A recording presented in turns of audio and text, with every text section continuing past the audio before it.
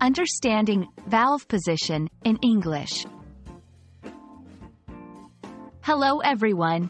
Today, we're going to explore the phrase valve position.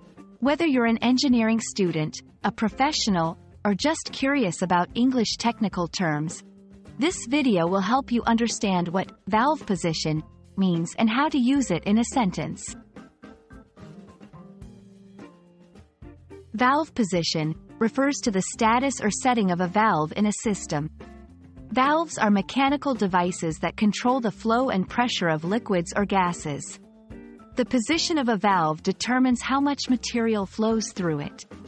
We often hear this term in industries like plumbing, heating, and engineering. There are generally three main positions. 1. Open, where the valve allows full flow. 2. Closed, where the valve blocks all flow. 3. Partially open, closed, where the valve is set between open and closed, controlling the flow rate. Let's look at some examples. Check the valve position before starting the machine. The technician adjusted the valve position to regulate the pressure. Knowing the correct valve position is crucial for system safety. Understanding the valve position is essential in many fields.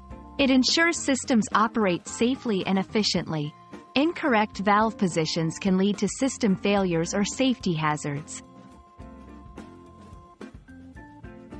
When learning about valve positions, be careful not to confuse it with valve types or functions. The position is about how the valve is set, not what type of valve it is. I hope this video helps you understand the term valve position better. Remember, it's all about how the valve is set in a system. Thanks for watching. And don't forget to practice using this term in your conversations or technical discussions.